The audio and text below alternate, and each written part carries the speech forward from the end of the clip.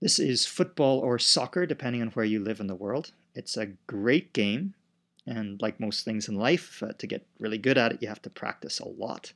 One way to practice is to get your team and to get in a big circle and to start kicking the ball around. And so a, a team has got 11 players, so after 11 kicks, it's got back to the goalie at the top. We can try it with two. So here we're kicking it again. And after 11 kicks, we're going to get it back to the goalie.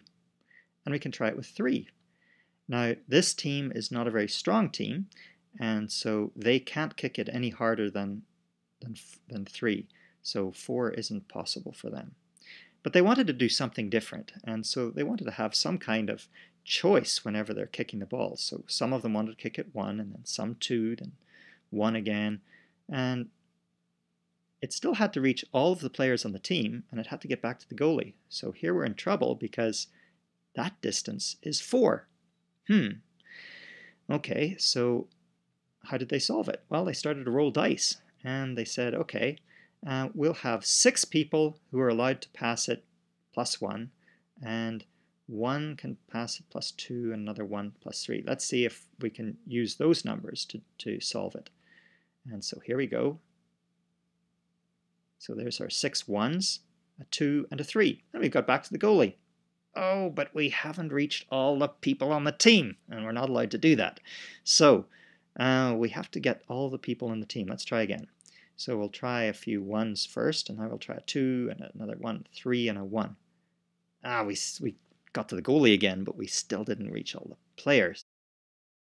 Okay, photocopy either this sheet or the next one, and hand it out to all of your students along with three dice. The students roll the dice and then they set them on either the plus one, the plus two, or the plus three. And then they have to solve the problem. The problem is to make sure that everybody on the team gets to kick the ball and that the ball ends up where it started, with the goalie at the top. So, why did this not work? 611. Well, think about how many people got to kick the ball. Well, eight people got to kick the ball, and that's not enough because we've got 11 people on the team. So of course there's going to be a problem here. So one of the requirements that we have is that 4 plus 5 plus 2 is equal to 11. We want every time we roll the dice, in order for it to be successful, it has to sum to 11. Otherwise, we're, we're either going to get some people that have kicked the ball too much or some people that don't even touch the ball. Guaranteed. So it has to add to 11.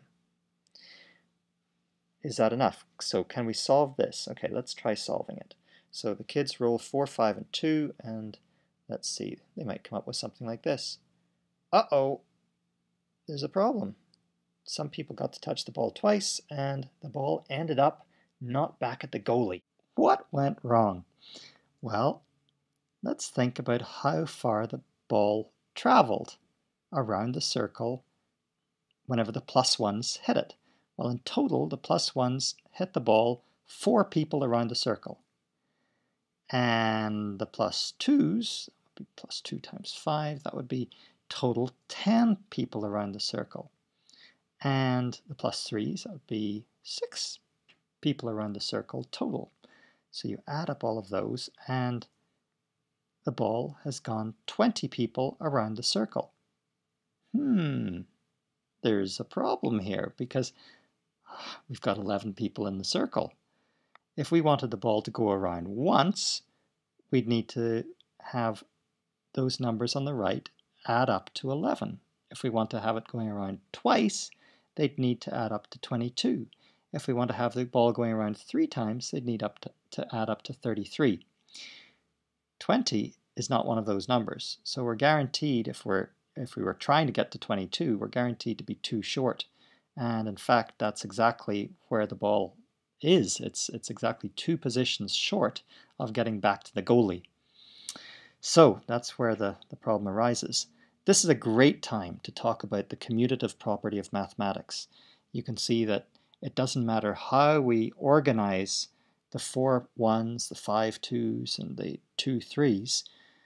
we're always going to get to 20. And so this problem can never be solved because of the commutative property of addition. So here you see, it doesn't matter. We can swap those around any number of ways and we're still, unfortunately, going to get to 20. Too short of the goalie. What are some of the uh, solutions? What are some of the dice throws that we could get that might lead to a solution? Well, 515 adds to 11, and 5 times 1 is equal to 5, plus 2, that would be 7, plus 3 times 5, that's 15, so 5, 15 plus 7, that's 22. So this is one possible solution that has the right number of kicks, 11, and has got the right number of people that is passed around, the 22. So Here's another possible solution, 434. And another one, 353. You can check all of these out. They work both for the distance going around clockwise and for the number of kicks. So here's uh, 434, and this is a solution. And this is the uh, there's many solutions that you can get with 434, but I wasn't able to get any other solutions with any other dice combination. So I think this is it. If you didn't roll 434, I think you're out of luck. Um, it might be that some students want to experiment, and that is up to you if you want to uh, if, if you've dabbled into um, subtraction, then you can look at subtraction. Where, how would subtraction look in this uh, simulation? Well, uh, negative 2 would be counterclockwise. So here it would be a solution with negative 2. See, we've gone negative 2 four times. That means we've gone counterclockwise four times and clockwise by step of three six times. Uh, there are other uh, extensions if you want to use different sizes of dice that you can experiment with. This was another um, solution. You can get a solution with this, um, with this 272. So do look for it. It's, it's nice, nice to find. And 191 I don't think has a solution. That's it.